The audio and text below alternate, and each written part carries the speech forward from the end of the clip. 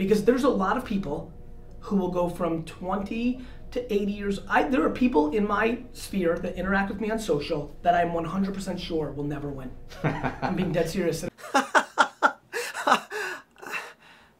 Uh, yeah, so I started laughing after Gary said that, but then I had this moment of panic thinking, uh oh, is he like sending me some sort of cryptic message like he's talking about me? Um, I was trying to figure out if he was giving me some sort of signal behind the scenes, and um, I mean, I guess from that moment on, whether he was or wasn't, I started to really take what he was saying seriously. I got back to LA. I started thinking about other streams of revenue, including writing my new book, starting a course. Around that time, I was approached by the sponsor of this video, my friends from the Dot Store domain, and I actually took this opportunity to start my online store uh, after you know I got this subtle hint, or maybe it wasn't meant for me. I don't even know. But anyway, so I am liking my partnership with the Dot Store domain friends, and, and here's what it is: you can go out and get yourself a Shopify site. I love these guys. Um, but if you don't want to do that, or if you want to make it even easier, just go to the Dot Store domain and get your own domain with dot store. In other words, you know, my site is behindthebrand.tv usually, um, or my production site, which is thegoodbrain.com. And what you can do is get this dot store extension, and instantly your website becomes shoppable. It tells people that you have a store, and um, it's ready to go. It's like create prices, list your products or services, and off you go. So uh, I set up mine, which is behindthebrand.store, and I put up some of my favorite books there from uh, some of my favorite authors. I also have my own book there, and uh, if you haven't heard, I'm writing a book. I'm announcing it right now. Ta-da! It's going to be coming out probably Q1 of 2022, and uh, so depending on when you're watching this, uh, you can get it or pre-order it or check it out. Right now what I've done is giving you kind of a sneak peek and I wanted to put up some of the mock covers, the designs that we are in development. Now these are rough drafts, these are not final, uh, but I have about 10 of them up there that you can peruse and uh, let me know which ones you like best. Put it in the comments, you know, I like number one, I like number six, I like the yellow one, whatever. Um, and I will take your feedback into consideration because that's super important to me. But um, I have lots of other things coming down the pipeline for this dot store domain, and I'm happy that uh, this partnership existed because otherwise I probably wouldn't have gotten around to it, or maybe it's a little bit too technical for me. I just have you know zero time because I'm doing all this lights, camera, action, production kind of stuff. So um, it's working out great.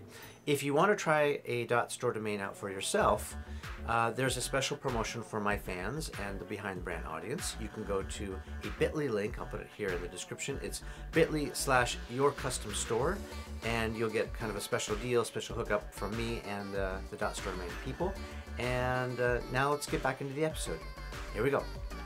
You know, it's tough, you know, in a world where I look, in a world where I've accomplished a lot of great things and am- I'm in a very happy place, like it makes me want to bring other values to other people, right? And so if I'm giving advice, if I'm putting out content, if I want something good to happen, if I'm so selfish that I want somebody to email me and say I've, I've changed their life, I want to give them practical advice. And hustle's the only thing I can't tell people become more talented.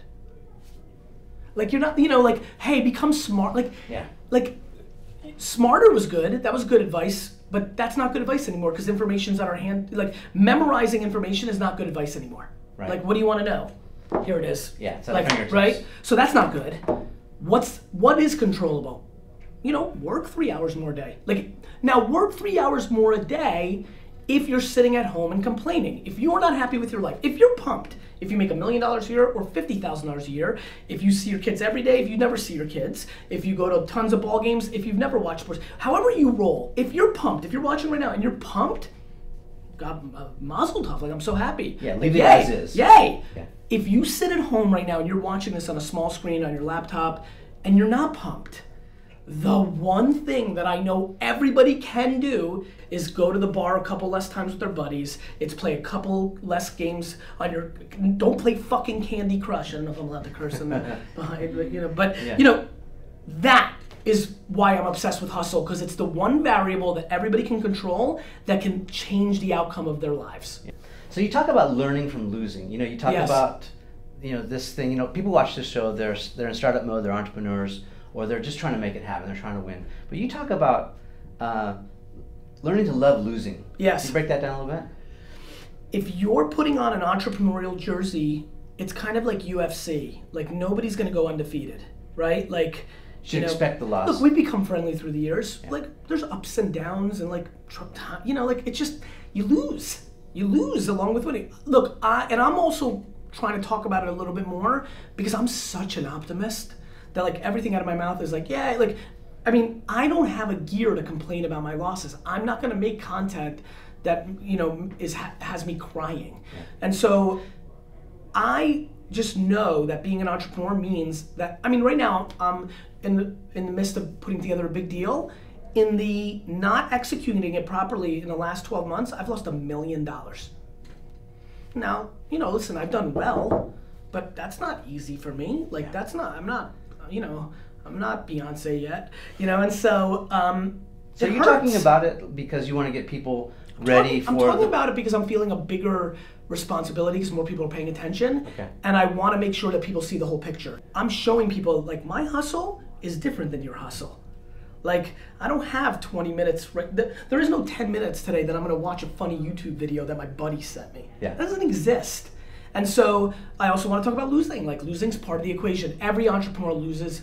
Some now for me, I like micro losses. Thank God that losing that kind of money is now a micro loss. I'm not out of business. Yeah. So I'm, I'm taking micro losses to make sure I don't have a macro loss. Yeah. Because there's a lot of people who will go from 20 to 80 years. I, there are people in my sphere that interact with me on social that I'm 100% sure will never win. I'm being dead serious. And Yeah. it's a tough thing to say, and I don't like to say what I just said, but they will perpetually lose in their 20s, 30s, 40s, 50s, 60s, 70s, 80s, 90s, and then die. I fully believe that. Is that lack of talent? It's a lack of self awareness. Okay. It's not lack of talent. We all have talents. We all have two or three things, four things that we're better at than the other things we're good at. Now, your best thing that you're best at, you might actually just be average in the whole world at. But if it's your best thing, it's the thing you need to do because being average is a hell of a lot better than being below average. Right. Got it? Yeah. self-awareness is the ultimate the ultimate in our society right now and we're living through a time right now where a lot of kids are being sold to become entrepreneurs when they're not we're living in a time where people are being told to become famous and extroverts and put out content and they're not and as somebody who's living that life i wanted people to understand like look you have to be built for it in the same way that i wasn't built to be a scholar and even though i grew up in the 80s and 90s when being a good student was the game I fought against it because I was self aware. Now we have the reverse. There's so many great students that can go and become amazing consultants, make 500,000 a year, have a beach house, marry attractive people, and have a great life, but they're going to go and become startup founders and spend 6 years failing, going into depression, not winning. It's a real thing. Yeah. Self-awareness. So your advice is to double down on what you're good at. Quadruple down. Yeah. Like uh, doubling's not enough. Bryan, Bryan like like all of it. Yeah. Like we just were talking before about you know some services where I'm like I'll pay for anything. Like if you're not good at hanging a picture, have somebody else do it. Yeah. I mean, we were just sitting back, you know, chopping it up, reminiscing about the good old days and all that. You know, tracking my roots.